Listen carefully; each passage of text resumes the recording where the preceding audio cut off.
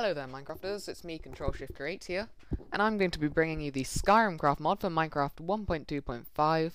I've been trying to do a video for this for a while, but I haven't been able to find a link to download the Skyrimcraft mod, but I have succeeded in doing that today, so I thought let's get on and make the video straight away. Uh, I'll give you links in the description.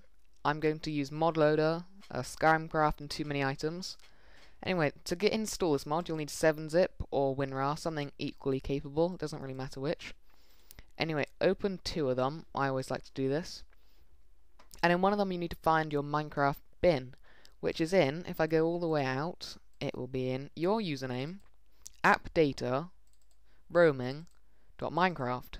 Go into your bin, see minecraft.jar, go into that and see meta-inf. This is a folder. Press delete and press enter because that just gives you a black screen. It's designed to stop you modding. Okay, in the other tab you need to find where you've saved your mods. I've got them on my desktop in my nice little mods folder. And as you can see here, I've got ModLoader here and Skyrimcraft here.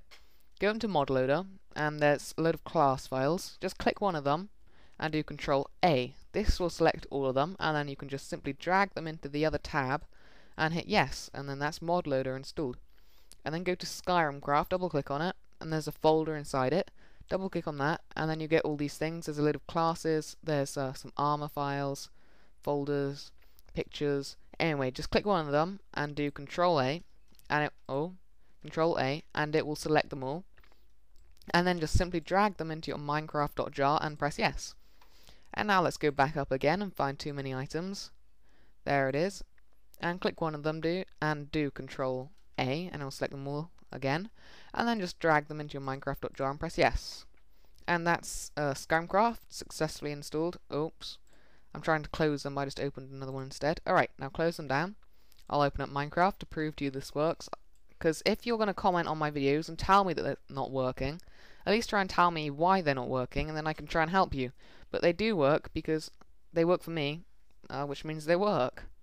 And for some reason, my Minecraft uh, always takes a long time to log in, I don't know why, but it gives you a nice chance to read the Minecraft updates. Shift clicking to support and furnaces. In Minecraft 1.2.5, they didn't really do anything, did they?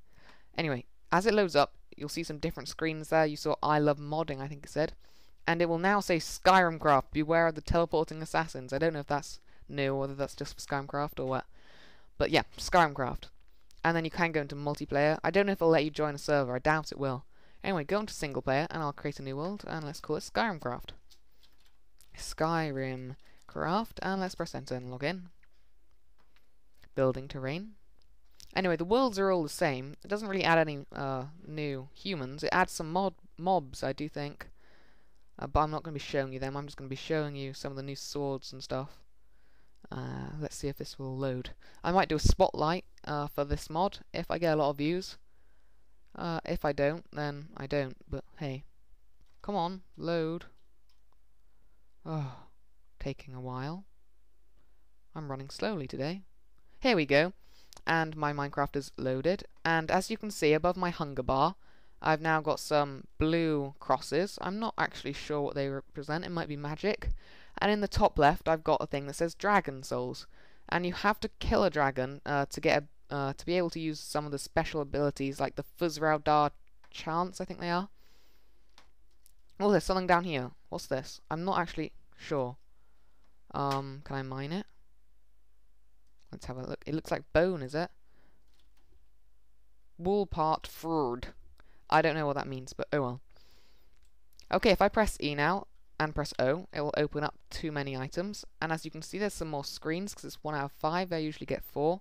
And it's added some new ores. I've got the ebony ore, which looks identical to coal, which is really awkward. Moonstone ore, Conun corundrum ore, orchigalium ore, bone malachite ore, Malachite or stalactite? Ooh, that's the question.